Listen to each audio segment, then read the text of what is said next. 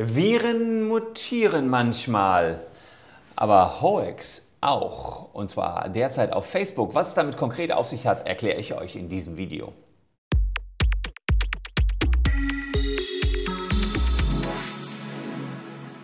Hallo, ich bin Christian Solmecke, Rechtsanwalt und Partner der Kölner Medienrechtskanzlei Wildebeuger und Solmecke und dies ist eine Warnung vor einer Warnung. Hm, fragt ihr euch, was für eine Warnung vor einer Warnung? Ich warne euch vor einer Warnung, die gerade auf Facebook kursiert. Und das ist eine Warnung bezüglich eines Virus, die wird auch auf WhatsApp verbreitet. Die Warnung äh, lautet, Sag mal bitte allen Leuten in deiner Liste, dass sie den Kontakt mit Ute Christoph nicht annehmen sollen. Das ist ein Virus über WhatsApp und so weiter.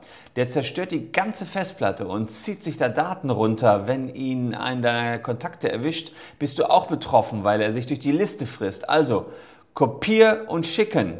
Und wenn ich die Nummer 0171 96 und so weiter anrufe, nimm ja nicht ab. Ist ein Hacker und es werden auch alle deine weiteren Kontakte betroffen sein. Es ist heute Morgen auch von Europ 1 und RTL bestätigt worden. Weiterleiten. Ja, und das leiten dann wieder Leute weiter zu tausendfach.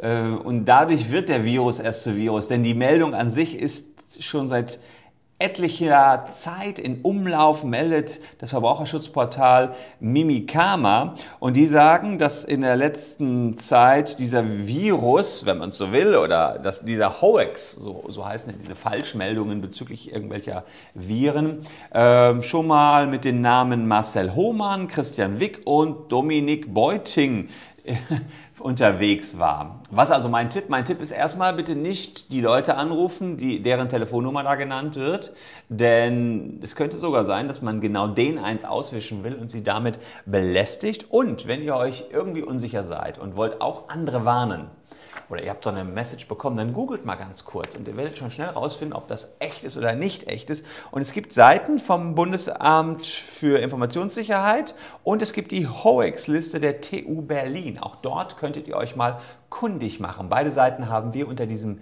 Video entsprechend verlinkt. Insbesondere die Hoax-Liste der TU Berlin lege ich euch wärmstens ans Herz. Wirklich lustig, was da so an Falschmeldungen im Netz kursiert. Was sind eure beliebtesten Falschmeldungen? Was habt ihr auf Facebook, WhatsApp oder vielleicht auch in den YouTube-Kommentaren schon gesehen, was euch die Haare zu Berge stehen lässt? Postet es gerne und ich bin auf eure Kommentare gespannt. Euch danke fürs Zuschauen. Tschüss und bis morgen.